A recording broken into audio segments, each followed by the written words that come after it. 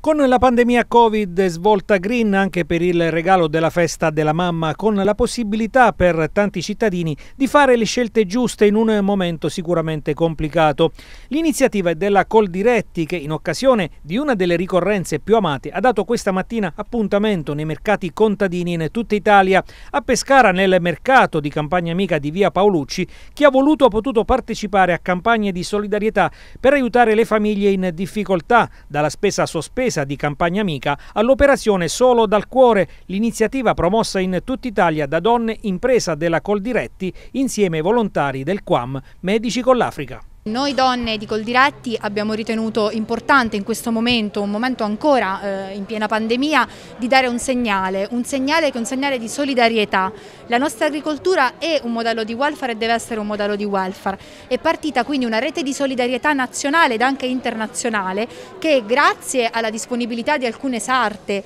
a, eh,